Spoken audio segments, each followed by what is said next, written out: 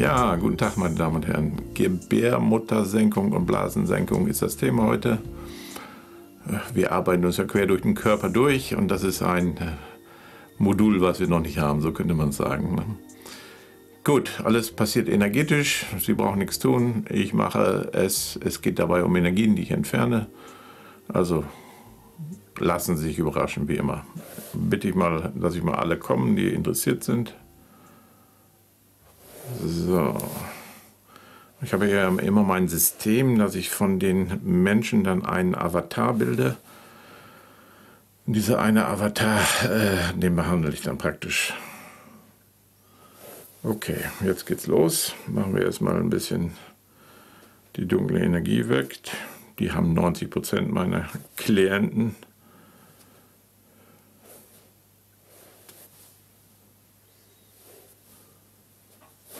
Ist ja klar, dass es jetzt keinen Arzt ersetzt, da sollten Sie, dürfen Sie immer gerne hingehen.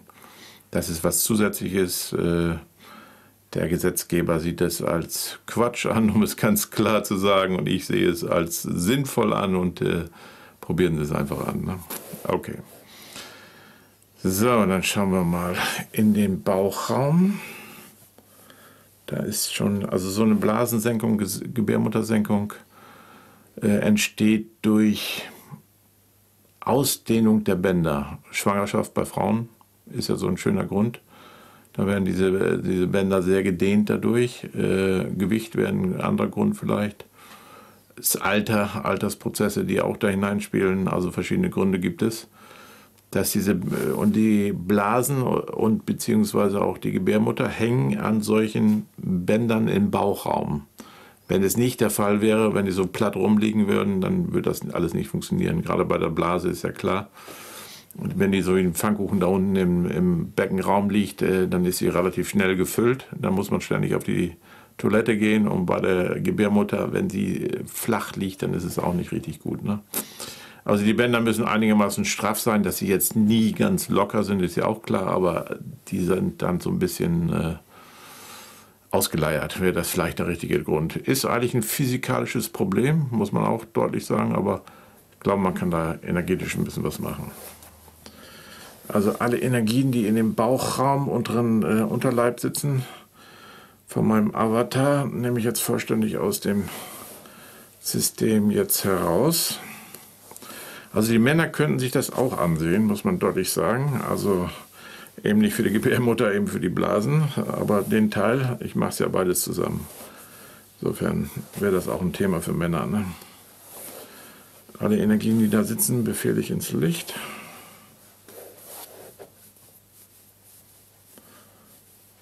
So.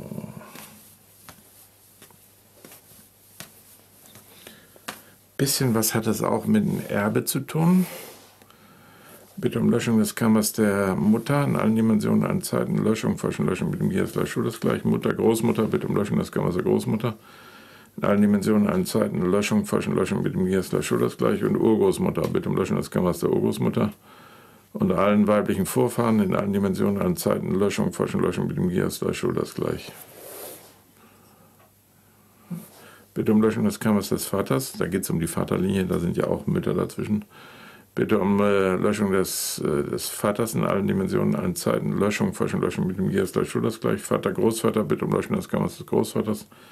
Allen Dimensionen, allen Zeiten. Löschung, Forschung, Löschung mit dem Giers gleich Schulters gleich. Und Urgroßvater, bitte um Löschung des Kammers des Urgroßvaters und allen männlichen Vorfahren. Allen Dimensionen, allen Zeiten, jetzt, hier und so fort. So. Jetzt gehen wir mal auf die Bänder. Bestehen ich würde hauptsächlich sicher aus Sehnen. Äh, Muskeln sind da nicht drin, aber wenn man das so ein Bild habe ich schon mal gesehen, das sieht so wie so Fleischfetzen aus, hätte ich fast gesagt. Also Muskeln, die ja ein bisschen umhüllt sind. Ne? Machen wir mal die auf der rechten Bauchseite. Alle Energien, die auf diesen beiden Bändern, ich glaube es sind insgesamt vier, kann aber auch andere Zahl sein alle Energien, die auf diesen Bändern sitzen und da nicht hingehören.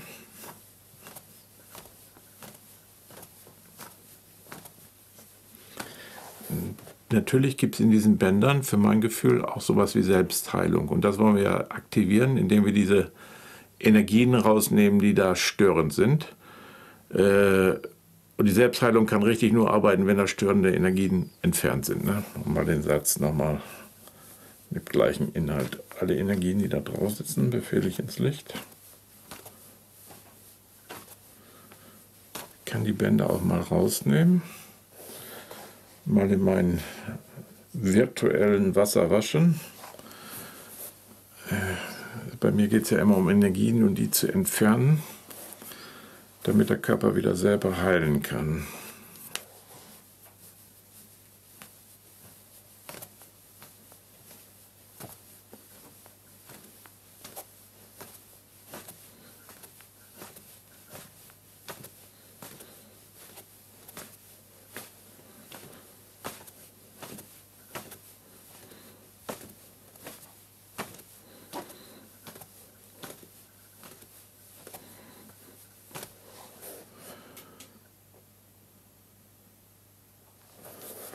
Immer noch auf der rechten Seite.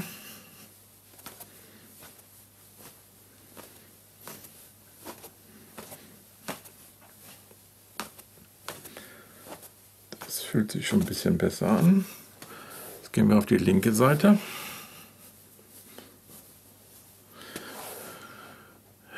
Es kann sein, dass die Blase extra Bände hat. Gebärmutter und Blase unterschiedliche Bände hat. Aber die schließen wir mal mit ein. Also, dass beide so vier Bänder haben, ne? Das weiß ich aber nicht genau. So, nehmen wir diese Knäuel auch, waschen das durch. Alle Energien, die hier drauf sitzen, befehle ich ins Licht.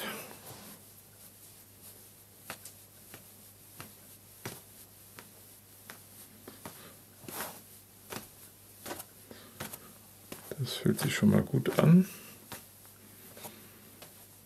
Gut.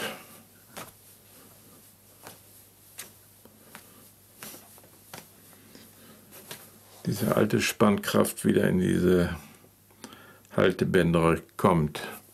Ich habe das schon mal erzählt. Äh, man kann das auch operativ machen. Das machen wir nach einer schweren Schwangerschaft wird das ab und zu, glaube ich, auch mal operativ gemacht, dass dann die Bänder nachgespannt werden ne, oder gekürzt werden. Das gibt es.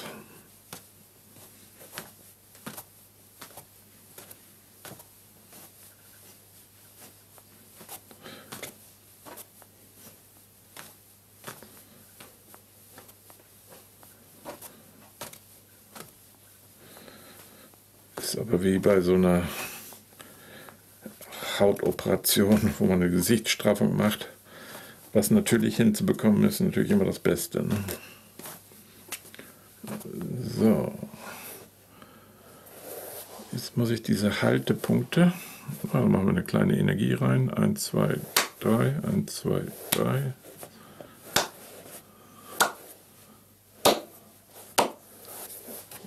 Dass diese Haltepunkte nochmal energetisch frei mache. Und von diesen Haltepunkten aus geht ja diese Energieversorgung dieser Bänder. Die werden ja auch ernährt in ihrem gewissen Maße. Die sind ja brauchen trotzdem ja äh, Erneuerung, Zellerneuerung praktisch. Ne? Auch wenn die wahrscheinlich langsamer verstanden geht. Deswegen besteht auch eine gute Chance, dass es wieder besser wird. Also das ist sicherlich auch ein Video, A, sollte man das mal öfters schauen und B, braucht es auch, wie man so schön sagt, eine Tüte Geduld, äh, dass diese Straffung wieder reinkommt. Das kann nur die Zellerneuerung dann hinbekommen. Ne? So. Ich kann ja mal testen, wie lange es dauert. Also ich kriege so zwei Monate. Zwei Monate, wo man das Video relativ häufig sehen darf. Muss, muss man gar nichts. Ne?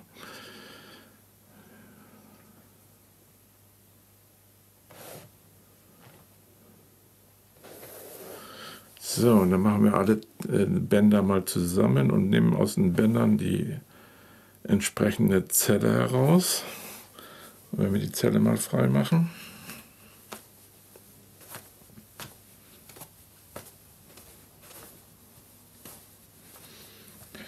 Die sich da zur, zur Bandform geformt hat, natürlich. Alle Energien, die da drin sitzen, befehle ich ins Licht, die da nicht hingehören natürlich. So.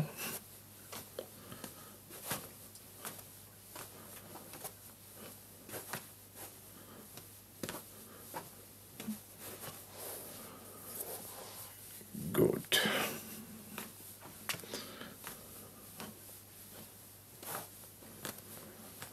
Also eine gute, ausgewogene Ernährung ist Basis eines gesunden Körpers und eine äh, gesunden Sehnen und so weiter. Also wenn man jetzt beispielsweise Nägel hat, die dann weiß sind oder sonst welche Ver Verschrubbelungen drin sind, dann kann man sagen, okay, da hat irgendwas, entweder war es ein Schock, dann gibt es diesen weißen Nagelrand, der dann rauswächst wieder, oder die sehen komisch aus. Das ist so ein bisschen Hinweis darauf, bin ich gut ernährt kann man an den Nägeln sehen. Die müssen also so ein bisschen rosa aussehen, so gut durchblutet, äh, die Nägel müssen gut nachwachsen.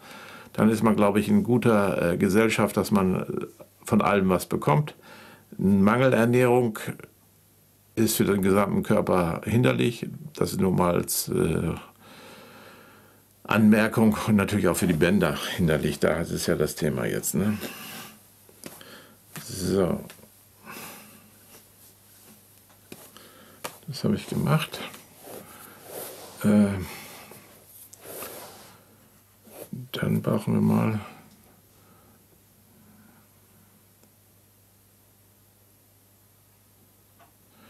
bitte um Löschung des Karmas von 20 bis 30 von meinem Avatar in allen Dimensionen, allen Zeiten, Löschung, Forschung, Löschung mit dem Hier ist gleich, das gleich, 30 bis 40, bitte um Löschung des Karmas 30 bis 40 in allen Dimensionen, allen Zeiten, Löschung, Forschung, Löschung mit dem Hier ist gleich, das gleich.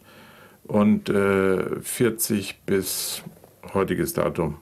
Bitte um Löschung des Karmas 40 bis äh, heutiges Datum, Löschung des Karmas in allen Dimensionen, allen Zeiten, Löschung, Forschung, Löschung mit dem Hier ist gleich, das gleich. Also ob es Schwangerschaft sei oder starke Gewichtsschwankungen, Auf- und Zunahme oder was es alles so gibt. Ne? Ja, schauen wir mal. Gibt es noch irgendwas anderes zu tun bei diesen Bändern? Wie fühlt sich jetzt an? Ganz gut, ganz gut.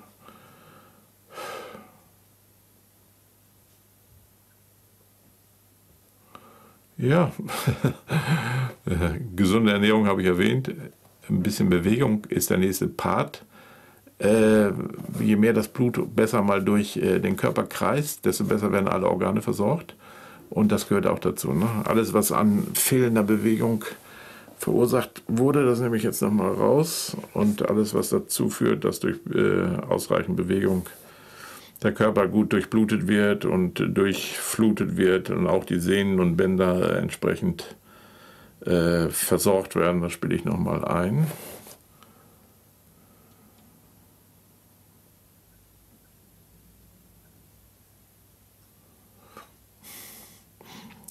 wäre ich jetzt nicht drauf gekommen, aber durch diese äh, äh, Bewegung, was es braucht, sind, äh, ist Luft.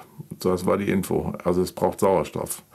Tiefes Atmen, also auch mal, äh, mal sich heftiger zu bewegen. Alles, was verhindert, dass wir tief ein- und ausatmen, nehme ich aus dem System von allen Beteiligten jetzt raus und äh, alles, was dazu führt, dass wir äh, tief atmen und ein- und ausatmen, also bestenfalls auch mal ein bisschen anstrengenden Sport betreiben. Das spiele ich jetzt ein.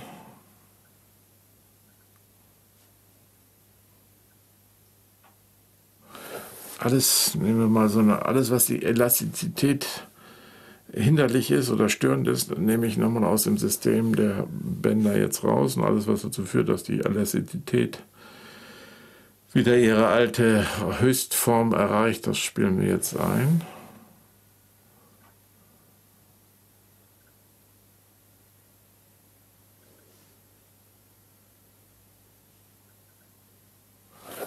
Alles, was diese Dehnungsfähigkeit behindert, das ist nochmal dasselbe eigentlich, nehme ich nochmal raus. Und alles, was die Dehnungsfähigkeit unterstützt, äh, spiele ich ein.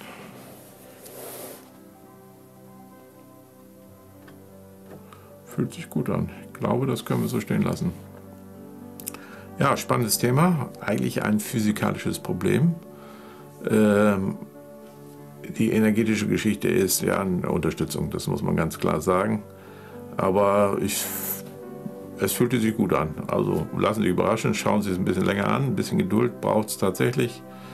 Acht, neun Wochen, zehn Wochen, bis, äh, bis es eigentlich geheilt sein sollte. Und so lange muss man einfach ein bisschen dabei bleiben und sich selbst was Gutes tun, natürlich. Ne?